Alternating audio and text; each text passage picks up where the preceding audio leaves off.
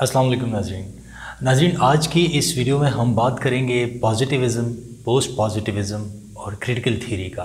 ये international relations के अंदर भी चलती हैं और ये ऐसी चीज़ें हैं जो कि आपके तमाम के तमाम सोशल साइंसेस के अंदर ये अप्रोचेस जो हैं ये अप्लाई होती हैं और इनको एक लेंस के तौर पर यूज़ करके हम किसी भी सब्जेक्ट को सोशल साइंसेस के अंदर समझने की कोशिश करते हैं। रिसर्च थीरीज़ कहलाई जाती हैं ये और अप्रोचेस भी इनको कहा जाता है। तो हम इनके बारे में थोड़ा सा ब्रीफली मैं बताने की कोशिश करूँगा आपको ताकि जो स्टूडेंट्स हैं सोशल साइंसेस के एटलीस्ट उनको इस इन इन कॉन्सेप्ट को आ, की समझ उनको आ जाए और फिर जब वो आगे कभी कोई काम करें किसी टेक्स्ट को पढ़े किसी थीरी को पढ़े तो उनको पता चले कि ये किस एरा का या किस अप्रोच से इन्फ्लुएंस्ड है ये थीरी निकल के आई है और ये क्या करना चाह रही है। तो फिर उनको समझ आ जाती है। सबसे पहले आगाज़ करते हैं पॉजिटिविज़म का। तो पॉजिटिविज़म जो है ये एक ऐसी अप्रोच है जो कि एक्सपेरिमेंट्स पे ऑब्जर्वेशन पे मैथमेटिकल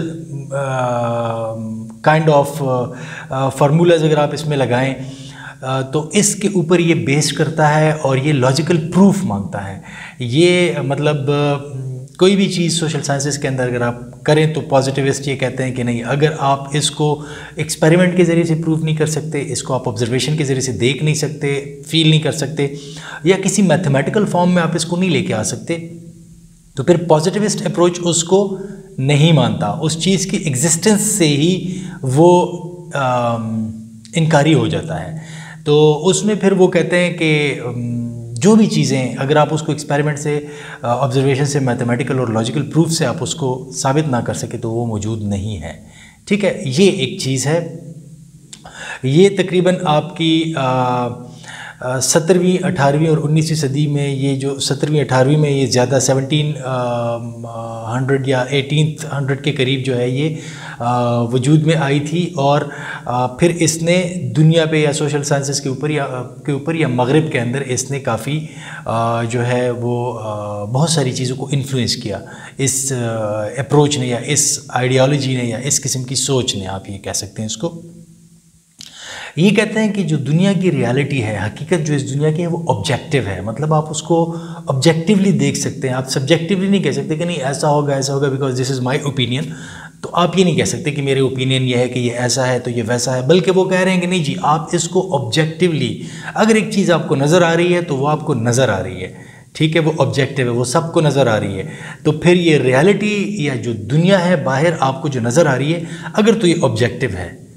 तो ठीक है, ये मौजूद है। अगर ये ऑब्जेक्टिव नहीं है, इसमें आपने कुछ मिथ्स कुछ चीज़ें, कुछ ऐसे, कुछ ऐसी चीज़ें जो कि आपको नज़र ही नहीं आ रही, लेकिन आपको उसके बारे में कुछ यकीन है कुछ आपका ख्याल है, उसके बारे में ओपिनियनेटेड है आप तो वो उस पॉजिटिविज्म पॉजिटिविज़म जो है वो इस चीज़ को नहीं मानता। वो कहते नहीं जी, अगर ऑब्जेक्टिव है ऑब्ज़र्व किया जा सकता है तो ठीक है, अगर ऑब्ज़र्व नहीं किया जा सकता ऑब्जेक्टिव नहीं है तो वो है ही नहीं। ये इनका मानना है पॉजिटिविस्ट स्कूल ऑफ़ थाट के अंदर जो है, इस चीज़ को माना जाता है। और वो फिर उसको ऑब्जेक्टिव को वो कैसे कह सकते हैं कि या तो साइंटिफिक मेथड यूज़ करके आप साबित करेंगे ये चीज़ मौजूद है, या आप कोई इम्पेरिकल एविडेंस लेके आएँ कि ये चीज़ मौजूद है। अगर आप साइंटिफिक मेथड यूज़ करके साबित नहीं कर सकते कि ये चीज़ मौजूद है, अगर आपके पास इम्पेरिकल एविडेंस नहीं है तो फिर इसका मतलब है कि वो चीज़ ऑब्जेक्टिव नहीं है, वो रियलिटी नहीं है, वो मौजूद ही नहीं है।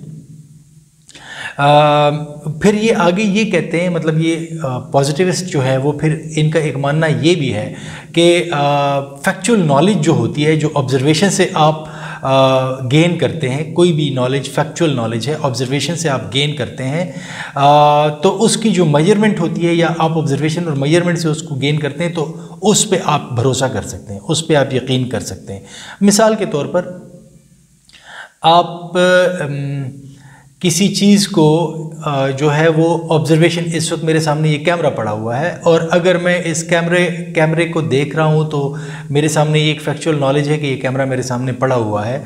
मैं इसको ऑब्ज़र्व कर रहा हूँ मैं इसको मैयर कर सकता हूँ कि कैमरा मेरे से कितना दूर पड़ा हुआ है और ये किस तरीके से काम कर रहा है। तो फिर ये वाली नॉलेज ट्रस्ट वर्दी है। अगर इसके बियॉन्ड मैं ये ना समझूं कि मेरे सामने ये कैमरा पड़ा हुआ है और ये कैमरा ना हो तो फिर मैं जो है आ, उस पर यकीन नहीं कर सकता। अगर मैं फॉर एग्ज़ाम्पल किसी ऐसी चीज़ का इदराक करूँ या किसी ऐसी चीज़ के बारे में बात करूँ, जिस तरह मैंने इस कैमरे की मौजूदगी को आपके सामने इस वक्त साबित किया, उसको मैं इस तरीके से अपनी ऑब्जर्वेशन और अपनी मेज़रमेंट से साबित ना कर पाऊँ।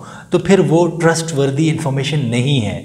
ये पॉजिटिविस्ट का मानना है और ऐसी बहुत सारी चीज़ें हैं जिसको कि इंसान जो है वो ऑब्जर्वेशन से और मेयरमेंट से साबित नहीं कर सकता, लेकिन पॉजिटिविस्ट फिर उसको नहीं मानते।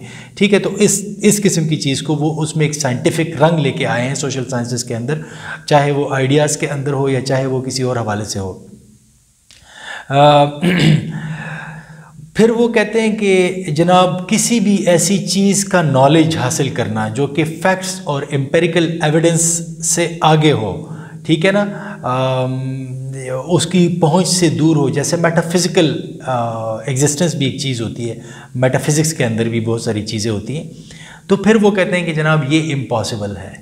ये मौजूद ही नहीं है। ऐसा नॉलेज जो है जो हम फैक्ट्स और एम्पेरिकल एविडेंस के बाहर गेन करना चाहें तो हम उसको गेन नहीं कर सकते। हम उस तक पहुँच ही नहीं सकते। तो दैट इज़ इम्पॉसिबल इसलिए पॉजिटिविस्ट उसको नहीं मानते।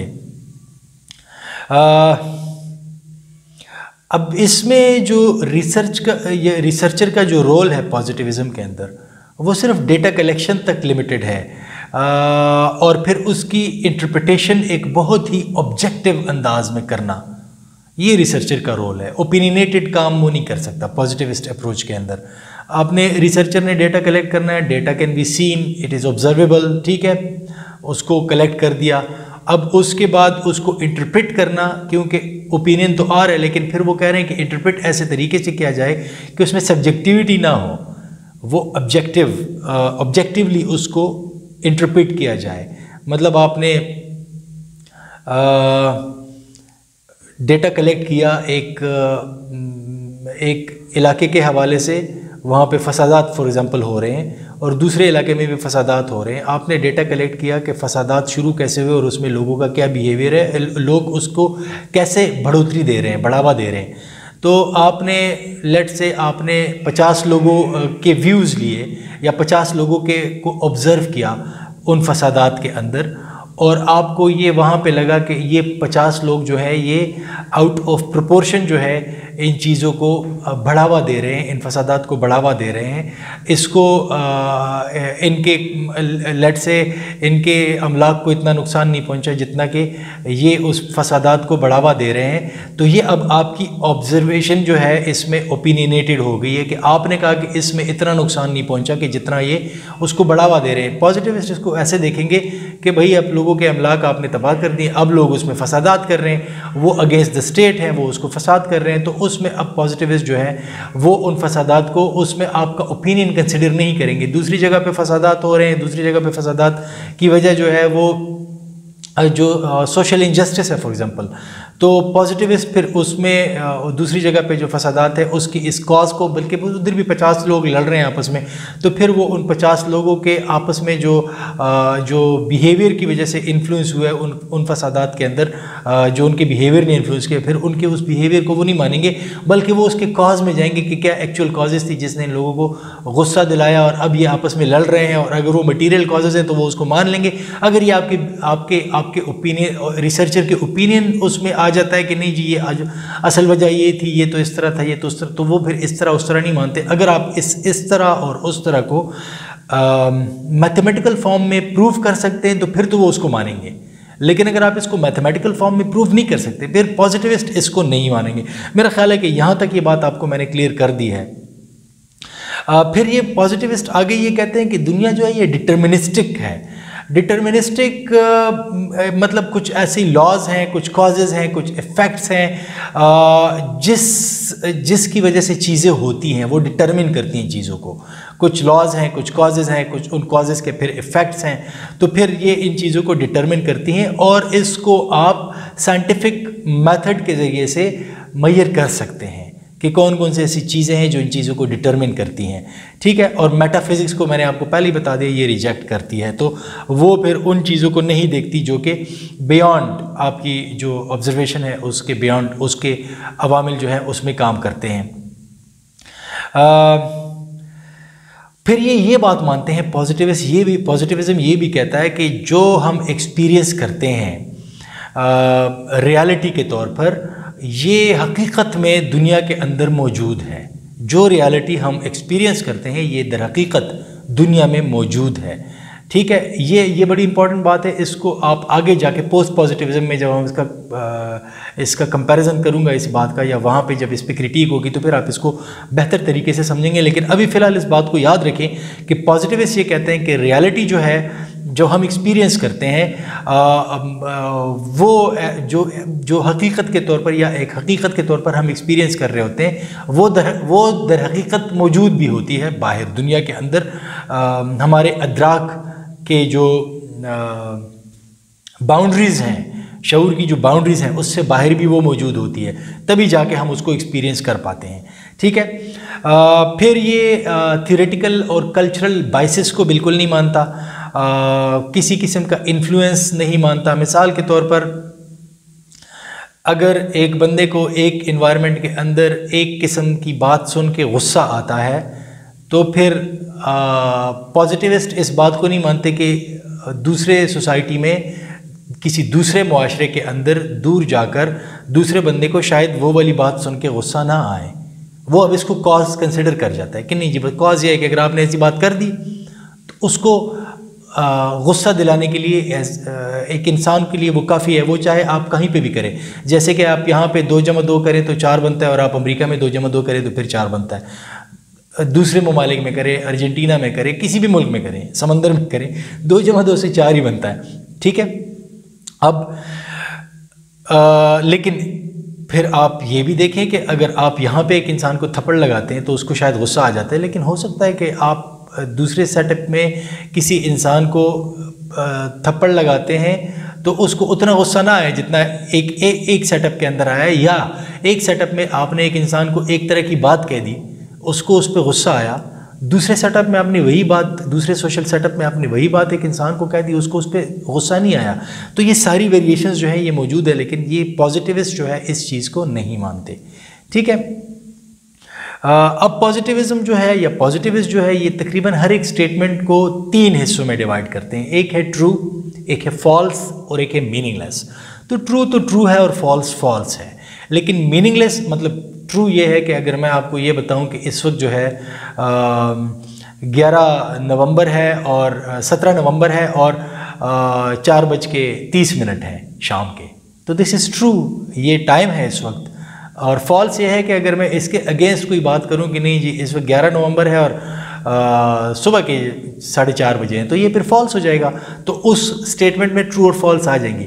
लेकिन मीनिंगलेस स्टेटमेंट ये होगी कि अगर फॉर एग्ज़ाम्पल उसको आप ना ट्रू कह सकते हैं ना आप फॉल्स कह सकते हैं।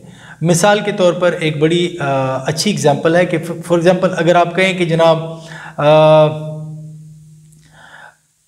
अगर आप ऐसे कहें कि जो एक पर्टिकुलर कलर है रेड या ग्रीन या वाइट वो बड़े गुस्से में आके सो गया। तो अब ये एक मीनिंगलेस है। आपको ना समझ आती है कि वो जागा हुआ है, वो सोया हुआ है, उसको गुस्सा आया था, गुस्सा नहीं आया था। कलर है वो एक, बेजान चीज़ है। उसको आप कैसे कह सकते हैं कि सो गया, गुस्से में आके सो गया या तो now this is a meaningless statement ठीक है? तो उस चीज़ में फिर वो ट्रू फॉल्स और मीनिंगलेस के अंदर वो इन, हर एक स्टेटमेंट को इन तीन चीज़ों में डिवाइड करता है। या तो ट्रू होगी या फॉल्स होगी, और अगर इसके अलावा कोई चीज़ होगी तो फिर मीनिंगलेस होगी। तो बहुत सारी चीज़ों को मीनिंगलेस के अंदर लेके आ जाती है, इस वजह से फिर उसको मानते नहीं हैं, ठीक है? क्योंकि वो वो उसको समझ नहीं पाते तो वो उसको मानते नहीं हैं। ये तकरीबन ट्वेंटी अर्ली ट्वेंटी सेंचुरी में इसको इंतहाई पॉपुलैरिटी मिली। ठीक है पॉजिटिविस्ट स्कूल ऑफ़ थॉट को। लेकिन अब इसके बाद जो है, एक और स्कूल ऑफ़ थॉट आया जिसने इसको क्रिटिसाइज करना शुरू किया। इसके अंदर जो प्रॉब्लम्स थी, उन प्रॉब्लम्स को आइडेंटिफाई करना शुरू कर दिया। ठीक है? इस अप्रोच के अंदर या इस थीरी के अंदर जो प्रॉब्लम्स थी, अब post positive school of thought ने उसको आइडेंटिफाई करना शुरू किया। अब post positive school of thought क्या कह सकते क्या कह रहे हैं कि एक तो वो साइंस को मानते हैं ये बात नहीं है कि वो साइंस को नहीं मानते। आ, लेकिन पॉजिटिविज्म जो है साइंस को मानता है ठीक है पोस्ट पॉजिटिविज्म भी मानता है लेकिन पॉजिटिविज्म जो है ये तकरीबन आप इसको कह सकते हैं कि बुरी तरह नाकाम हुआ किस चीज़ में कि कल्चर पॉलिटिकल और साइकोलॉजिकल फैक्टर्स को मैयर कर सके जो कि एक ऑब्ज़र्वर और हकीकत, जिसको पॉजिटिविस्ट हकीकत कहते हैं, उसके बीच में हायल होती हैं। अब कल्चर भी हायल होता है, एक बंदा एक रियलिटी को एक जगह से देख रहा होता है, एक एक ही इंसिडेंट को एक जगह से एक बंदा देख रहा होता है, वो उसको एक तरह परसीव करता है बिकॉज़ ऑफ़ उसका जो कल्चर होता है, उसकी वजह से। ठीक है, उसके कल्चर में शायद उस किस्म की चीज़ को देख के दूसरी तरीके से परसीव करना उसको सिखाया गया है। तो वो उस तरह परसीव करता है उसको। लेकिन किसी और कल्चर का बंदा उसी चीज़ को देखता है तो वो उसको एक और तरीके से परसीव करता है। फिर पॉलिटिकल और साइकोलॉजिकल फैक्टर्स भी होते हैं। आ, एक सेन आदमी जब एक चीज़ को देखता है तो वो उसको जो है वो आ, मिसाल के तौर पर गर्मी है ठीक है? अब गर्मी इज़ अ रियलिटी लेकिन अगर आप ठंडे ठंडी गाड़ी में बैठे हुए हैं या ठंडे कमरे में बैठे हुए हैं और आपने खिड़की या शीशे से बाहर आप देख रहे हैं तो आपको क्योंकि गाड़ी ठंडी है या कमरा ठंडा है और बाहर जो लू चल रही है या बाहर जो इन्वायरमेंट है, जो भी है वो गर्मी, आप उसको देख के तो शायद एक अच्छी फीलिंग ले रहे होते हैं। ठीक है? कुछ फैक्टर्स और भी मौजूद है तो आपको वो फीलिंग अच्छी आ रही होती है तो आप कहते हैं कि ये तो बड़ा अच्छा मंजर है।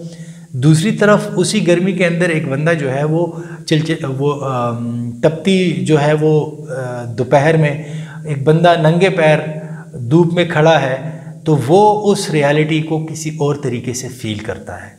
अब ये कुछ साइकोलॉजिकल फैक्टर्स हैं जो इसमें इन्वॉल्व हैं ऑब्जर्वर के अंदर और रियलिटी के अंदर। ठीक है?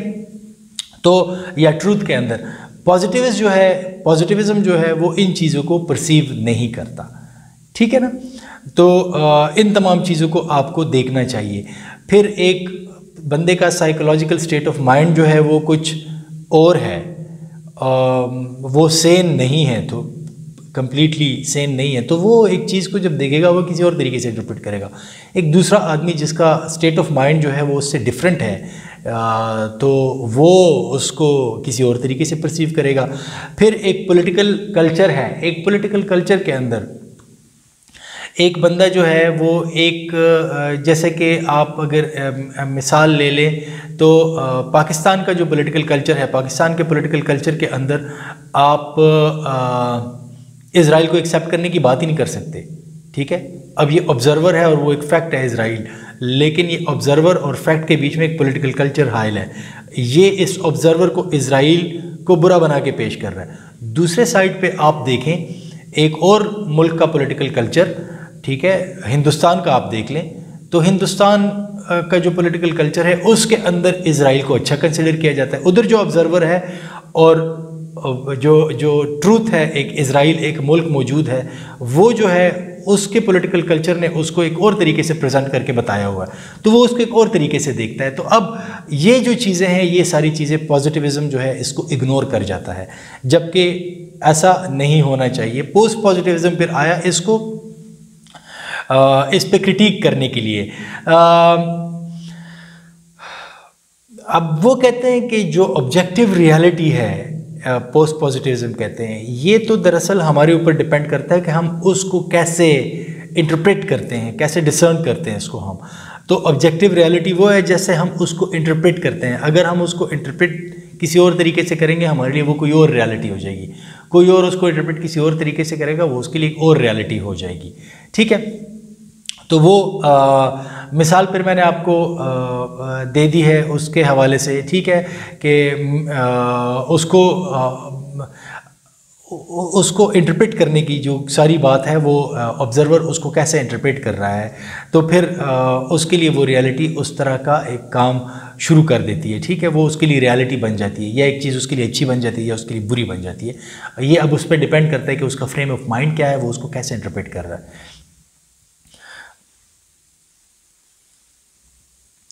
अब वो कहते हैं कि रियलिटी जो है ऑब्जेक्टिव रियलिटी एग्जिस्ट करती है। पोस्ट पॉजिटिव इससे इनकार नहीं करते कि ऑब्जेक्टिव रियलिटी एग्जिस्ट नहीं करती। वो कहते हैं, जी, बिल्कुल मौजूद है, आपकी बात सही है। साइंस एक ऐसी ऑथेंटिक एक ऐसा ऑथेंटिक टूल है या मीन्स है, जिससे कि हम इस ऑब्जेक्टिव रियलिटी तक पहुँच सकते हैं। लेकिन साइंस भी फ्लॉड है। साइंस भी अभी कंप्लीट नॉलेज की शक्ल में हमारे सामने नहीं आया। तो इस वजह से साइंस भी बाज़ जगह हम लोग देखते हैं ना साइंटिफिक ऑब्जर्वेशन जो होती है, वो आप आज से 50 साल पहले कुछ और फाइंडिंग्स थी, लेकिन अब नई फाइंडिंग्स आई हैं तो स्पेस के बारे में हमें और बहुत कुछ पता चला है। अब वो साइंटिफिक ऑब्जर्वेशन या साइंटिफिक रियलिटीज़ भी चेंज हो रही है। वो गोल पोस्ट जो है, वो चेंज हो रहा है। मुस्तकिल, जितनी, जितना रिसर्च में आगे जा रहा है इंसान तो इवन साइंस को यूज़ करके भी वो नई नई चीज़ें सामने आ रही है और अभी तक वो उस ऑब्जेक्टिव रियलिटी तक पहुँचा नहीं है। तो जो साइंटिफिक रियलिटी है ये भी अभी तक जो है ये फ्लॉड है। ठीक है? साइंस भी अभी तक फ्लॉड है। अभी तक आप उसको ऑब्जेक्टिव रियलिटी तक पहुँचे हुए नहीं हैं। तो ये आ, जो है उसको पोस्ट पॉजिटिविस्ट जो है इसको इस तरीके से देखते हैं। उनकी जो एजम्पन्स है पॉजिटिविज़म के उसको इस तरीके से देखें। आ, अब ये पोस्ट पॉजिटिविज़म जो है ये इस बात को एक्सेप्ट करते हैं कि कुछ मेजर कॉम्प्लिकेशंस हैं चीज़ों को जानने के हवाले से। जो प्रोसेस जिसके ज़रिए से हम चीज़ों तक पहुँचते हैं हकाइक तक पहुँचते हैं रियलिटी तक पहुँचते हैं इसमें कुछ मेजर कॉम्प्लिकेशंस हैं। पोस्ट पॉजिटिविज़म पॉजिटिविस्ट अप्रोच की उस बात को नहीं मानते कि नहीं जी हर एक चीज़ जो है वो बाहर मौजूद है ऑब्ज़र्वर जो है उसको बिल्कुल ऑब्जेक्टिवली इंटरप्रेट कर सकता है। वो कहता है ऑब्ज़र्वर की तो एक नॉलेज की एक लिमिट है। वो लिमिट जो है या प्रोसेस ऑफ़ नोइंग जो है अभी उसमें बहुत सारी कॉम्प्लिकेशन है। अभी आप उस रियलिटी तक नहीं पहुँच सकते। तो बहुत सारी चीज़ों में वो कहते हैं कि आपको उन चीज़ों पर भी यकीन करना पड़ेगा जो कि आपको शायद नज़र नहीं आ रही होती लेकिन आप उसको मीनिंगलेस भी नहीं कह सकते कि आप उसको कह दें कि जनाब ये मीनिंगलेस है। आ, अब वो कहते हैं कि सिर्फ़ साइंटिफिक मेथड्स का इस्तेमाल करके, सिर्फ़ साइंटिफिक मेथड का इस्तेमाल करके आप ऑब्जेक्टिव रियलिटी तक नहीं पहुँच सकते। सिर्फ़ साइंटिफिक नॉलेज का, क्योंकि साइंस को वो कहते हैं कि ये भी इनकम्प्लीट है, अभी तो बहुत सारी चीज़ें साइंस के साइंस की जो डोमेन है, उससे बहुत दूर है, बहुत बाहर है। तो अभी तक आप बहुत सारी चीज़ों तक साइंस के ज़रिए से भी नहीं पहुँच सकते, इसलिए आपको फिर चीज़ों पे रिलाई तो करना पड़ेगा क्योंकि साइंस भी आपको सही चीज़ नहीं बता रहा वो भी फ्लॉड है। आ, अब वो कहते हैं कि जो रियलिटी है वो वो इस बात को मानते हैं पोस्ट पॉजिटिविस्ट के रियलिटी इंडिपेंडेंट होती है हमारी थिंकिंग से। हमारी जो सोच होती है रियलिटी ज़रूरी नहीं है वो हमारी थिंकिंग से दूर है रियलिटी। बाहर है वो एक इंडिपेंडेंट रियलिटी है। एक अंधा है उसको सूरज नज़र नहीं आ रहा। लेकिन इसका ये मतलब नहीं है कि अब उसके अपने जहन में जो खाका बना हुआ है सूरज का वही ठीक खाका है। ठीक है? उसकी सोच से वो रियलिटी बाहर है। तो आ, ये अब लेकिन इंडिपेंडेंट ऑफ़ इस थिंकिंग ये रियलिटी मौजूद है सूरज तो मौजूद है लेकिन उसको नज़र नहीं आ रहा। तो आ, उसकी सोच से तो ये बाहर है। ठीक है? आ, इस वजह से वो इस तक मानते हैं कि जनाब ये रियलिटी जो है ये इंडिपेंडेंट है हमारी सोच से हमारी ऑब्जर्वर की सोच से। लेकिन फिर वो ये कह और फिर वो ये भी कहते हैं कि फिर लेकिन नेचुरल और सोशल साइंटिस्ट जो है इसको बस स्टडी करते रहते हैं। तो आप उनकी स्टडी को जो है ये ना ना कहें कि ये बाइस्ड होती है और साइंटिस्ट बायस है या साइंटिस्ट बायस नहीं है ठीक है ना? तो आ, ये बस हर एक बंदा अपनी कोशिश कर रहा है और कुछ मीन्स अप्लाई करके या कुछ चीज़ें अडॉप्ट करके वो uh, किसी चीज़ तक पहुँचने की कोशिश कर रहा होता है। अब इनके बीच में डिफरेंस क्या है? पॉजिटिविज्म और पोस्ट पॉजिटिविज्म के के बीच में। अब पोस्ट पॉजिटिविज्म ये कह रहा है कि जनाब, तमाम की तमाम जो ऑब्जर्वेशन है, ये फॉलेबल है। इसमें गलती की गुंजाइश है। कुछ भी आप ऑब्ज़र्व कर लेना तो आप उस पर सौ फ़ीसद यकीन नहीं कर सकते कि यही रियलिटी है। ये फॉलेबल है। ठीक है?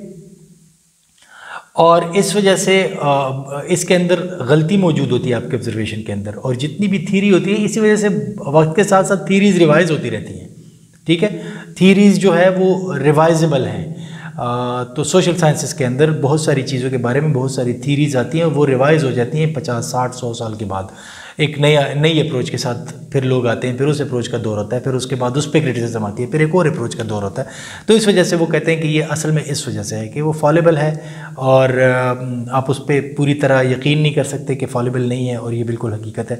तो वो हकीकत तो कहीं ना कहीं मौजूद है, लेकिन जिस तरीके से हम उस तक पहुँच रहे हैं तो वो फॉलेबल तरीका है तो इस वजह से ये चीज़ें रिवाइज रिवाइज होती रहती हैं। ठीक है? अगर आप इसको दूसरे अल्फाज में समझे ना तो वो असल में इंसानी एबिलिटी जो रियलिटी तक पहुंचाती है इंसान को पोस्ट पॉजिटिविज्म जो है, वो उसके बारे में बड़ा क्रिटिकल है। वो उसको क्वेश्चन कर रहा है कि जो आपकी एबिलिटी है, इंसान की जो एबिलिटी है, जो उसको रियलिटी तक पहुंचाती है, किसी भी सोशल फिनोमिन में आप देख लें, उसको जो रियलिटी नज़र आती है बेसिकली वो वो सर्टन सर्टन अंदाज में सर्टैनिटी के साथ आप नहीं कह सकते कि ये इसी तरह है। ठीक है?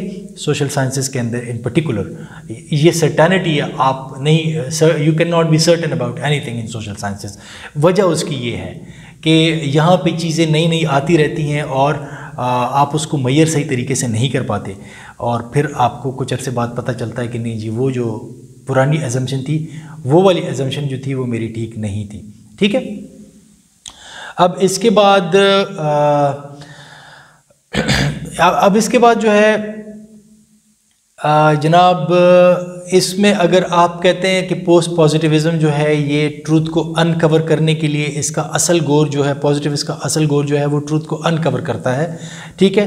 आ, तो ये जो पोस्ट पॉजिटिविज़म है पॉजिटिविस्ट जो है वो ट्रूथ को अनकवर करना करना चाहते हैं जो आपको नज़र आता है but that is the truth या पोस्ट पॉजिटिव सॉरी वो जो आपको नज़र आता है that is not the truth वो कहते हैं कि नहीं जी अभी आप इसको क्वेश्चन करें अभी आप फर्दर इसको डिग करें। अनकवर करें, इसको, ये जो आपको ट्रूथ नज़र आ रहा है, इसको आप फर्दर इस वक्त डिक करें, ठीक है? So this is not the truth तो ये पोस्ट पॉजिटिविज़म जो है उसको, और ये फिर इस वजह से इसको आप क्रिटिकल थीरी थीरी भी कह सकते हैं कि हर एक चीज़ के बारे में पोस्ट पॉजिटिविस्ट जो है, वो क्रिटिकल है। वो ये नहीं कह सकते कि जनाब ये बिल्कुल सर्टन है। कोई भी चीज़ आप करें तो पोस्ट पॉजिटिविस्ट अप्रोच के अंदर उसको क्रिटिकली देखा जाता है। उसको फर्दर प्रोप किया जाता है। और इवन देन उसके बारे में सर्टेनिटी के साथ कोई कंक्लूजन नहीं दिया जाता। बल्कि कुछ ओपन एंडेड किस्म की चीज़ें छोड़ दी जाती हैं कि अब ये यहाँ थे, क्योंकि ये ये फैक्ट्स देखे गए थे, इन फैक्ट के नतीजे में ये चीज़ें इस तरह नज़र आई। लेकिन फ्यूचर में अगर कुछ और फैक्ट्स आएँगी तो ये ज़रूरी नहीं है कि ये फाइनल कंक्लूजन ही फाइनल हो फॉर एवर इसमें हम अमेंड कर सकते हैं, ठीक है? फ़िलहाल के जो हमारे ऑब्जर्वेशंस थी, मुशाहदात थे, उसके बेस पे ये वाली कंक्लूजन्स आ गई हैं, लेकिन ये वाली फाइंडिंग्स आ गई है, लेकिन अब ये फाइंडिंग्स जो है ये यूनिवर्सल नहीं है। ये कुछ अरसे बाद चेंज भी हो सकती हैं। कुछ नए फैक्ट्स जब सामने आएँगे तो। आ, अब लेकिन उसमें फिर इनका गोल ये होता है कि रियलिटी तक पहुँचे।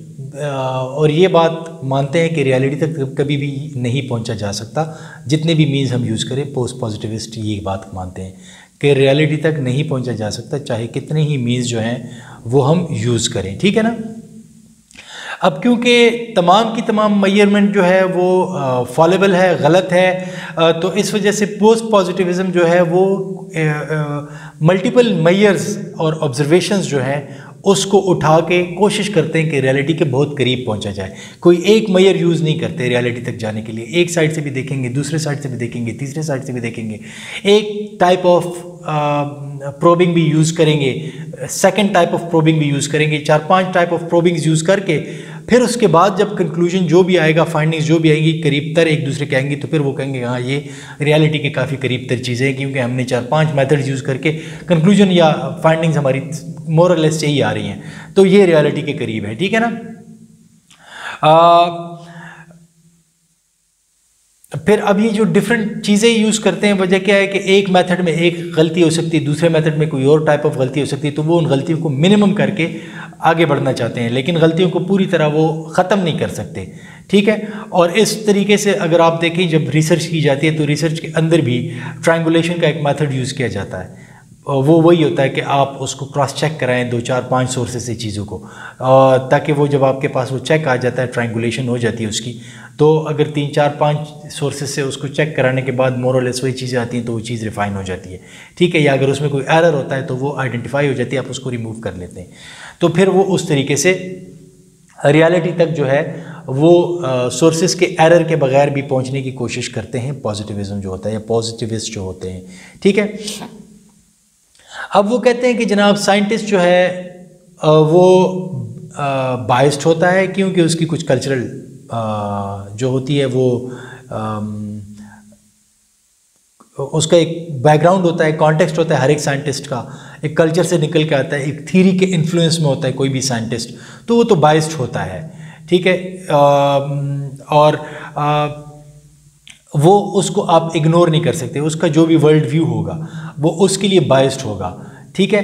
कोई भी साइंटिस्ट होगा तो उसको आप इग्नोर नहीं कर सकते। आप उसके वर्ल्ड व्यू को आ, आ, बिल्कुल ऑब्जेक्टिविटी के साथ नहीं कह सकते कि ये ऑब्जेक्टिव वर्ल्ड व्यू है। किसी भी आप मार्क्सिस्ट को देखें तो उसका क्या वर्ल्ड व्यू है? आप रियलिस्ट को देखें तो उसका क्या वर्ल्ड व्यू है? वो अपनी थीरी से बायस्ड है तो वो उसको उस तरीके से देख रहे हैं। आप किसी लिबरल स्कूल ऑफ़ थाट के बंदे को उठाएँ उसका वर्ल्ड व्यू क्या है? ठीक है? जो हम थीरीज़ में पीछे पढ़ चुके हैं। तो इन तमाम के तमाम के जो वर्ल्ड व्यूज़ हैं ये बाइस्ड होते हैं। और आप ये नहीं कह सकते कि scientist should not be biased scientist social scientist in particular वो बाइस्ड होते हैं हमेशा। तो उसको आप ये नहीं कह सकते कि ये बाइस्ड ना हो। ठीक है? आ, आ, अब ये कहते हैं कि पॉजिटिव जो कहते हैं वो कहते हैं कि ऑब्जेक्टिविटी जो है ये एक ट्रेट है साइंटिस्ट का। और आ, लेकिन पोस्ट पॉजिटिव इस आइडिया को रिजेक्ट करते हैं। और वो कहते हैं कि कोई भी बंदा जो है वो दुनिया को उस तरीके से नहीं देख पाता जैसे दुनिया मौजूद है। उसको उसको प्रॉप करना चाहिए ठीक है? आ, तो इस वजह से वो पॉजिटिविस्ट की उस ऑब्जेक्टिविटी वाली चीज़ को वो रिजेक्ट कर देते हैं ठीक है ना? पोस्ट पॉजिटिविस्ट ये यकीन रखते हैं कि तमाम के तमाम इंडिविजुअल्स जो हैं वो बाइस्ड हैं। हमारी ऑब्जर्वेशन जो है they are affected by theory by our culture by our political culture by our context जहाँ से हम लोग बड़े होके आते हैं जितना हमारी परवरिश होती है, हमारी जितनी भी ऑब्जर्वेशन होती हैं, वो उनके इन्फ्लुएंस में होती है, उस सोसाइटी के इन्फ्लुएंस में होती है। तो इस वजह से वो दोबारा पोस्ट पॉजिटिविस्ट को जो है, वो कर देते हैं रिजेक्ट कर देते हैं, ठीक है ना? जब अगर आप देखें तो बहुत सारे पॉजिटिविस्ट जो होते हैं, ये कंस्ट्रक्टिविस्ट भी होते हैं, क्योंकि ये चीज़ों को रिकन्स्ट्रक्ट करते हैं। उसको क्रिटिसाइज़ करने के बाद उसको देखते हैं, फिर उसके बाद, उसके ऊपर क्रिटिक प्रेजेंट करने के बाद उसको रिकन्स्ट्रक्ट करने की कोशिश करते हैं तो ये कंस्ट्रक्टिविस्ट भी होते हैं अगर आप इसको इस तरीके से देखते हैं। क्योंकि ये समझते हैं कि हर एक चीज़ जो है ये हमारी व्यूज़ ने कंस्ट्रक्ट की हुई है चाहे आपको जो भी चीज़ नज़र आ रही है। पोस्ट पॉजिटिविस्ट ये कह रहे हैं कि हमारी व्यूज़ ने ज़्यादातर चीज़ों को कंस्ट्रक्ट किया हुआ है ठीक है? आ, और हमारी परसेप्शन जो है इस दुनिया के बारे में this this has been constructed by our views by our experiences in this world ठीक है इन आर सोसाइटीज़ तो वो उसको उस तरीके से देखते हैं। अब ये आ, हमारी कंस्ट्रक्शन जो है वो ये समझते हैं कि दिस शुड बी परफेक्ट जो हमने कंस्ट्रक्ट किया होता है उसके अंदर कोई फ्लॉ नहीं होनी चाहिए कुछ फैक्ट्स एंड फिगर्स जो आप उसमें देख रहे होते हैं उसको आप एवेलुएट करने के बाद बताएँ कि जनाब ये चीज़ें ऐसी हैं और उसके अंदर रिसर्च के हवाले से कोई फ्लॉ नहीं होना चाहिए। आपने जो भी आइडिया कंस्ट्रक्ट किया हुआ है उसके अंदर। और अगर कुछ नई चीज़ें आती हैं तो फिर आप उसको रिकन्स्ट्रक्ट करें रिकन्सिडर करें अपने उस आइडिया को। अब बाकी ऑब्जर्वेशन वगैरह ये फॉलेबल है लेकिन वो जो ट्राइंगुलेशन वगैरह मैंने आपको बताया उसके अंदर वो कहते हैं कि जनाब इसको हम रिकन्सिडर कर सकते हैं। तो हम उसको सॉरी रिकन्सिडर नहीं कर सकते उसके अंदर हम उसकी एरर्स को मिनिमाइज़ कर सकते हैं। तो असल में इसमें वो कंस्ट्रक्शन मस्ट भी परफेक्ट जो है आ, इस हवाले से होनी चाहिए आपकी कि आपने उन तमाम असूल जवाब कवायद को आपने देखा होगा और उसके बाद आपने इसको कंस्ट्रक्ट किया होगा तो फिर ये परफेक्ट कंस्ट्रक्शन होगी। तमाम प्रिंसिपल्स को सही तरीके से यूज़ करने के बाद जितने भी सोशल स्ट्रक्चर्स हैं ये कोई भी इंडिपेंडेंटली एग्जिस्ट नहीं कर सकती। आ, और ये कोई इंडिपेंडेंट एक्टिविटीज़ नहीं है ठीक है ना? मतलब आ, अगर आप सोशल स्ट्रक्चर्स को देखें, इस बात को मैं थोड़ा सा रिपीट कर दूँ। अगर आप सोशल स्ट्रक्चर्स को देखें, ये थोड़ी सी कॉम्प्लिकेटेड है, आप तवज्जो दीजिएगा इस पर अगर आप सोशल स्ट्रक्चर्स को देखें तो सोशल स्ट्रक्चर्स जो बने हुए हैं, इसमें आप ह्यूमन एक्टिविटी को माइनस करके सोशल स्ट्रक्चर खड़ा नहीं रहेगा, कोई भी सोशल स्ट्रक्चर चाहे वो पोलिटिकल स्ट्रक्चर कोई भी है, या कोई भी सोशल स्ट्रक्चर सोसाइटी के अंदर जो बना हुआ है, इसके अंदर एक्टिविटी को माइनस आप नहीं कर सकते। ठीक है, हमारी एक्टिविटीज़ ही इनको शेप देती हैं, इनको वजूद देती हैं, जला बख्शती हैं इसको। तो सोशल स्ट्रक्चर जो है, ये हमारी एक्टिविटीज़ के बगैर कायम नहीं रह सकती। तो जब ये चीज़ें हो जाती हैं एक्टिविटी तो वो एक ऐसी चीज़ है जो कि जो कि पॉजिटिविज़म उसको नहीं मानता, लेकिन पोस्ट पॉजिटिविज़म उसको मानता है कि जनाब आप किस, कुछ कुछ ऐसी चीज़ों से कुछ चीज़ों को इन्फ्लुएंस करते हैं स्ट्रक्चर सबको नज़र आ रहा है। पॉजिटिविस्ट को भी नज़र आ रहा है पोस्ट पॉजिटिविस्ट को भी नज़र आ रहा है। लेकिन पॉजिटिव स्ट्रक्चर को देख रहा है, उसमें से एक्टिविटीज़ उसने माइनस कर दी हैं। वो कहते हैं, जनाब ये structure this is an independent reality यहाँ पर ये कहते हैं कि नहीं जी this is not an independent reality यहाँ पर तो ये एक्टिविटीज़ हो रही है स्ट्रक्चर को बनाने में, ठीक है? आई होप ये ये पॉइंट मैंने क्लियर कर दिया आपको। आ, और फिर एक और बात भी सोशल स्ट्रक्चर जो है ये एजेंट और स्ट्रक्चर जो आपने कंस्ट्रक्टिविज्म के अंदर पढ़ा हुआ है मैंने आपको आप अगर किसी ने नहीं पढ़ा तो कंस्ट्रक्टिविज्म की वीडियो देख ले। एजेंट और स्ट्रक्चर का जो रिलेशनशिप है ठीक है तो वो तो एजेंट का व्यू होगा तो उस एजेंट की व्यू के ऊपर जो है वो एक स्ट्रक्चर होगा तो स्ट्रक्चर एजेंट की व्यू के बगैर इंडिपेंडेंटली कोई स्ट्रक्चर है ही नहीं। ठीक है? मिसाल के तौर पर आप एक मुल्क की एग्जांपल ले लें, अमेरिका की एग्जांपल ले लें। अमेरिका में एक स्ट्रक्चर है सोशल स्ट्रक्चर है, या किसी भी मुल्क की एग्जांपल लेकिन मैं आपको अमेरिका की एग्जांपल दे रहा हूँ। अमेरिका में एक सोशल स्ट्रक्चर है। अब वो जो एजेंट है, ठीक है, जो अमेरिका में बसने वाले अमरीकी हैं, वो वो जो एजेंट्स हैं, ये उन एजेंट्स की व्यू की वजह से अमेरिका अमेरिका है। ठीक है? और क्योंकि वहाँ पे रहने वाले जो एजेंट्स हैं जो ऑब्जर्वर्स हैं उनका व्यू है कि अमेरिका अमेरिका है तो वो एक अमेरिका को स्ट्रांग करने के लिए काम कर रहे हैं तो अमेरिका स्ट्रांग हो गया। अब जो बाहर वाले लोग हैं जो बा, बाकी एजेंट्स हैं जो अमेरिका से बाहर रह रहे हैं ऑब्जर्वर्स क्योंकि अमेरिका के अपने अंदर रहने वाले लोगों ने उसको स्ट्रांग बनाया। अब ये वाले लोग भी उसको देख के यही कह रहे हैं कि जनाब अमेरिका बहुत बड़ा मुल्क है बहुत स्ट्रांग मुल्क है इकोनॉमी ऐसी है ये है वो ठीक है? लेकिन अमेरिका एक स्ट्रक्चर है। आप इसको एक पॉलिटिकल स्ट्रक्चर कह लें पॉलिटिकल एंटिटी कह लें, एक स्ट्रक्चर बन चुका है। ये जब तक ये एजेंट इसको मानता रहेगा कि ये एक स्ट्रक्चर है तो ये स्ट्रक्चर रहेगा। लेकिन अगर सारे लोगों ने आज ये डिसाइड कर लिया दुनिया में, ना, अमेरिका के अंदर रहने वालों ने भी और अमेरिका से बाहर रहने वाले में भी, कि अमेरिका का तो वजूद ही नहीं है तो अमेरिका का वाकई वजूद खत्म हो जाएगा। क्योंकि कोई उसको मानेगा ही नहीं, ना उसके अंदर रहने वाले लोग मानेंगे, ना उसके बाहर रहने वाले लोग मानेंगे। तो एजेंट का व्यू जो है वो कहते हैं कि जनाब ये बहुत इंपॉर्टेंट होता है। अदरवाइज़ तो ये इंडिपेंडेंटली ये सोशल स्ट्रक्चर या ये पॉलिटिकल स्ट्रक्चर एग्जिस्ट ही शायद ना कर पाए। ठीक है? ये इस किस्म की बात है। थोड़ी सी बात जो है वो लंबी हो रही है लेकिन ये टॉपिक बहुत ज़्यादा इंपॉर्टेंट है तो आपके समझने के लिए आपको बहुत ज़्यादा हेल्प हेल्पफुल होगा ये टॉपिक अगर आप इसको समझ जाएँगे। आ, और इस वजह से जो एजेंट या जो सोशल स्ट्रक्चर है वो असल में शेप होते हैं बाय द एजेंट्स ठीक है, जो आपका एजेंट होता है एजेंट की एक्टिविटीज़ होती हैं, वो उसमें, वो उसको शेप करते हैं सोशल स्ट्रक्चर को। और अगर एजेंट थोड़ा सा अपने बिहेवियर के अंदर, अपने रवैये के अंदर, अपनी एक्टिविटीज़ के अंदर चेंज लेके आता है तो फिर वो उस सोशल स्ट्रक्चर की शेप के अंदर भी अकॉर्डिंगली वही चेंजेस लेके आ जाता है। ठीक है? पॉजिटिविस्ट जो होते हैं, वो क्वांटिटेटिव डेटा पे यकीन करते हैं कि जनाब आप दो, आप निकालें चीज़ों को क्वांटिफाइबल चीज़ों को निकालें डेटा को। ठीक है? जबकि जो पोस्ट पॉजिटिविस्ट होते हैं, वो क्वालिटेटिव प्लस क्वांटिटेटिव डेटा को भी दोनों को वो कंसिडर करते हैं। क्वांटिटेटिव को इग्नोर नहीं करते, उसको भी इंपॉर्टेंस देते हैं। साथ में क्वालिटेटिव को भी साथ में रखते हैं, ठीक है? तो ये आपने अक्सर रिसर्च में देखा होगा, जब आप रिसर्च मेथोडोलॉजी में लिखते हैं, अपने सनऑप्सिस के अंदर या अपने थीसिस के अंदर कि ये एक मिक्स मैथड अप्रोच है या क्वालिटेटिव क्वांटिटेटिव तो वो तकरीबन आप उसमें पोस्ट पॉजिटिविस्ट अप्रोच के तहत चल रहे होते हैं। आपको सिर्फ़ वहाँ पे मेंशन करना पड़ता है कि ये आ, किस टाइप ऑफ़ अप्रोच जो है वो आप यूज़ कर रहे हैं। अब इसके बाद आ जाते हैं हम क्रिटिकल थीरी की तरफ़। क्रिटिकल थीरी जैसे कि मैं अभी आपको थोड़ी देर पहले बता चुका हूँ कि ये भी पॉजिटिव पोस्ट पॉजिटिविज्म के अंदर ही आप इसको इन अदर वर्ड्स ये भी कह सकते हैं क्योंकि हर एक चीज़ को ये चेक कर रहा कर रहा होता है ठीक है ना? इसका जो बुनियादी काम होता है क्रिटिकल थीरी का ये थोड़ा सा एक स्टेप आगे जाता है। ये उसको आ, ये आ, इसमें बहुत सारी अप्रोचेज़ हैं बहुत सारी चीज़ें हैं लेकिन इसका जो बुनियादी आइडिया है वो ये है कि लोगों को आज़ाद कैसे बनाएँगे।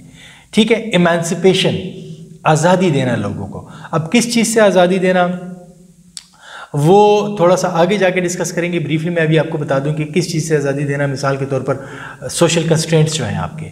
आपके कल्चर के अंदर जो कुछ चीज़ें हैं, जिसमें कुछ रूल्स एंड डोंट्स हैं तो वो कहते हैं, नहीं जनाब, आप इसके लोगों को आज़ादी दें। क्रिटिकल थीरिस्ट ये कहते हैं, ठीक है?